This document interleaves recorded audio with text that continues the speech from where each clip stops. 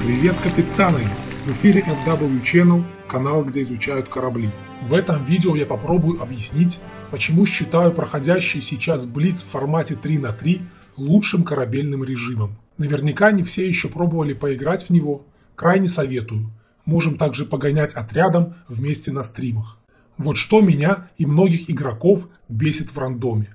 То, что слишком часто так называемый корабельный бой сводится к стрельбе по уточкам в тире, игру на домашку с элементами длительного стоялого и прочего. То есть слишком часто игроки в рандоме играют не на победу, а словно бы пришли в тир пострелять. Лениво клацают по мышке с края карты, набивают дамажечку, а там уже как получится. Иногда ближе к концу боя начинаются какие-то бодрые тактические моменты, где можно что-то зарешать, но они крайне случайны и спонтанны, из разряда «само так вышло». Причем так играют не только лишь так называемые раки, но и большинство так называемых статистов. Сперва дамажечка, а там видно будет. И в такой парадигме какое-то командное взаимодействие – это скорее странное исключение, чем повседневность. Также в рандоме есть такие болячки, как чрезмерное засилие фугасов, слишком быстрая смерть в фокусе, когда линкоры просто не способны танковать и играть как линкоры, их слишком быстро выносят по фокусу. Плюс засилие эсминцев и так далее. И всего этого практически нет в новом режиме 3 на 3. Во-первых, мы имеем сбалансированное сочетание трех типов кораблей. Один эсминец, один линкор и один крейсер. Во-вторых, размеры карт и немногочисленность кораблей откровенно подталкивают игроков к активным боевым действиям, а не стоялову. Конечно, встречаются и здесь странные чудаки, но надо быть совсем уже слепым и глухим голосу здравого смысла, чтобы не понимать, что этот формат про активную игру. В-третьих, когда игроков всего трое, то даже с самыми откровенными аутистами все-таки удается скооперироваться хотя бы в минимальной степени, в некое подобие команды, так как сам формат боя подталкивает к такому. В-четвертых, здесь не так страшен фокус, так как кораблей всего три, и далеко не всегда все три могут по тебе вести огонь в данный момент. То есть мы имеем больше пространства для маневра и возможностей для агрессивных наступательных действий.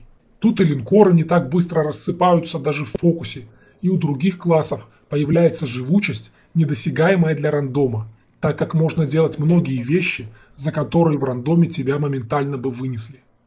В итоге получаются очень интересные именно тактические бои, каждый из которых не похож на предыдущий. Это то долгожданное бодрое корабельное Рубилово, которого очень долго не хватало в игре. В этом режиме постепенно даже самые странные товарищи начинают понимать, что игра на домашечку, стоялова и прочее здесь бесполезны от слова совсем. Это не тир, а очень бодрая корабельная тактическая битва. Конечно, и здесь может гореть от двух странных, прикидывающихся союзниками кораблей, и вообще эмоциональный накал очень высокий, но зато после него в рандоме уже скучно и грустно, не хватает адреналина, бодрых боев и возможности реально влиять на исход боя почти в каждом сражении, а не в одном из 10 или 20, как в рандоме. Я уже написал несколько отзывов разработчикам и надеюсь, что подобные режимы будут появляться в игре все чаще. Реально Вовс заиграла новыми красками, и лично для меня это интереснее подлодок и кучи всяких прежних эльфийских режимов вместе взятых. Напомню, что после боев на семерках будет такой же Блиц на восьмерках, и это станет еще интереснее, так как на седьмом уровне есть два слишком имбалансных корабля. Это Белфаст и Зетка-39. На восьмом уровне имбы уже не такие выпирающие и больший выбор очень интересных кораблей. В общем, рекомендую попробовать. Это не в рандоме веслом груши околачивать. А на фоне у нас первые два боя со стрима, чтобы показать интерес и накал такого формата боев. В общем-то, каждый бой можно было показывать, так как каждый чем-то интересен, поэтому без всякого выбора просто добавил первые два. Рекомендую досмотреть, там интересно и напряженно. Впрочем, как и почти все бои в этом режиме. Напишите в комментариях, понравился ли он вам и как можно было бы его усовершенствовать. И подписывайтесь на канал, чтобы не пропустить ничего интересного. Голосовые обзоры у нас теперь выходят каждый день, и зрители нашего канала узнают одними из первых про все новые корабли и корабельные события. Всем приятного просмотра, удачи, крепкого здоровья и до новых встреч в эфире. С вами был Супер Джедай.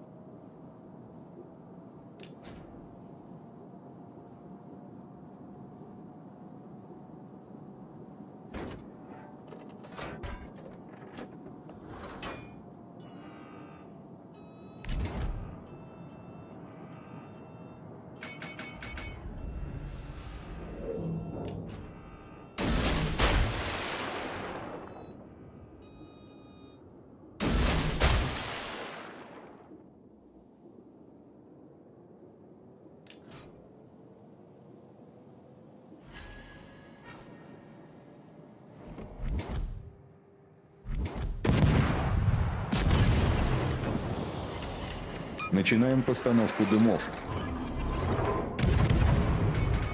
Гидроакустический поиск включен. Вы последняя надежда команды.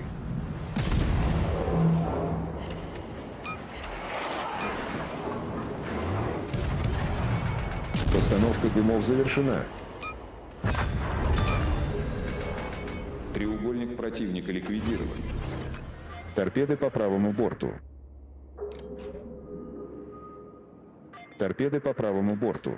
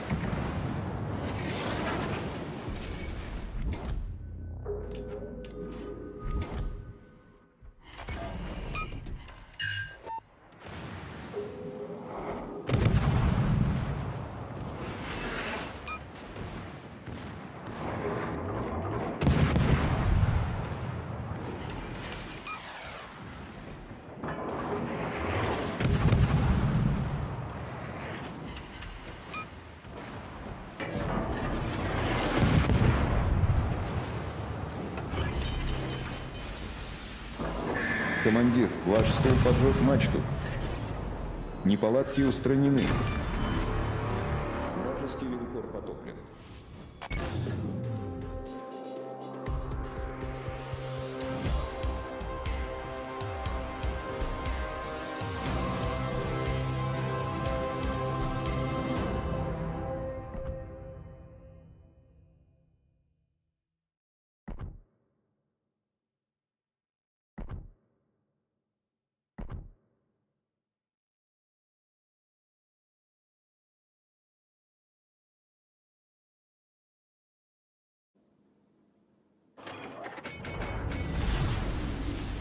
Бой начинается.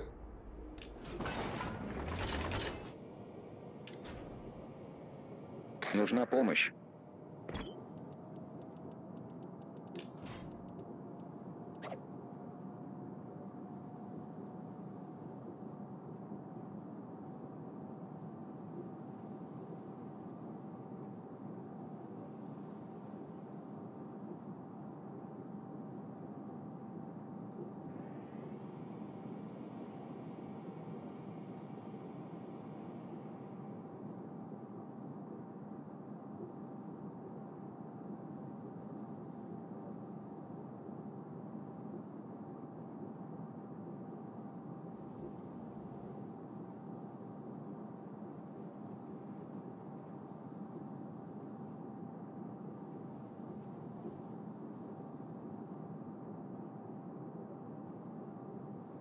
Анубыры метнулись все сюда.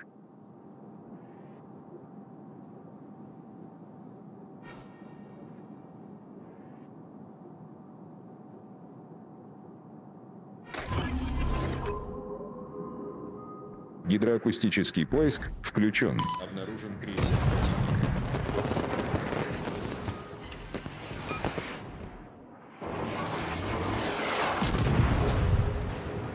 Нужна помощь.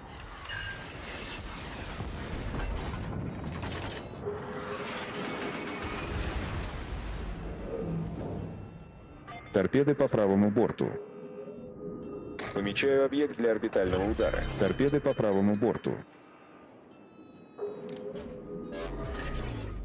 Неполадки устранены.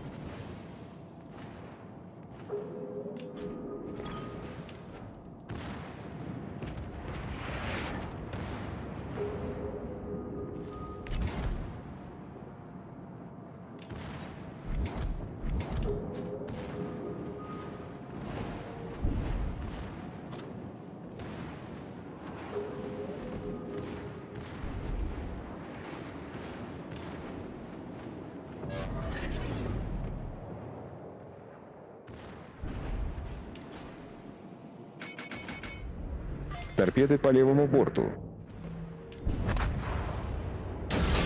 Торпеды по левому борту. Наша команда близка к победе. Начинаем постановку дымов.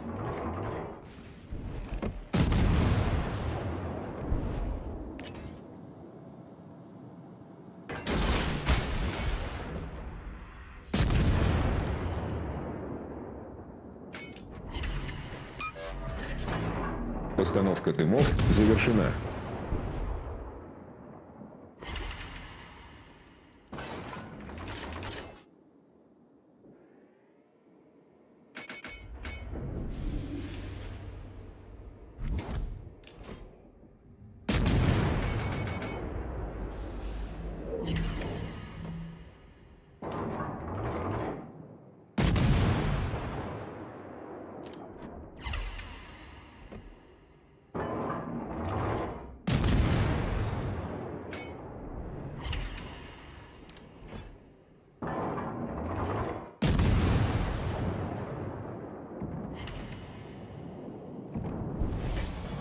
Наша команда получила преимущество.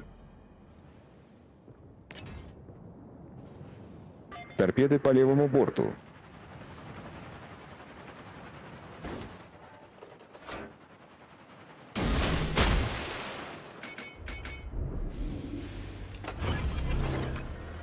Запрашиваю поддержку. Переходим на высококтан.